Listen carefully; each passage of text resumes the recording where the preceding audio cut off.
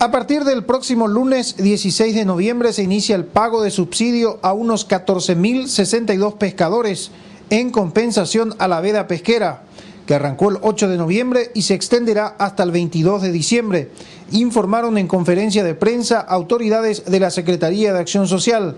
El monto que recibirá cada pescador es de 900.000 guaraníes la licenciada Susana Rojas, directora de pesca de la Secretaría de Estado, informó que unas 771 personas se encuentran en situación irregular, por la cual se decidió pagar por etapas, de tal manera que durante este tiempo se pueda facilitar su reinclusión si fuera posible. Finalmente, la licenciada Rojas señaló que el monto de dinero que desembolsará la SAS se mantiene similar al del año pasado, unos 13 mil millones de guaraníes. Con imágenes de Carlos Jiménez informó Claudio Genes para ABCTV.